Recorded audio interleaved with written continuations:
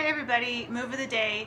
So we're gonna be doing a move that I really enjoy and I totally feel the burn, which is awesome because burn, you're feeling the burn, you know you're burning calories and toning muscles. So you're gonna be in a sumo wide squat and so it's like a sumo crunch, okay?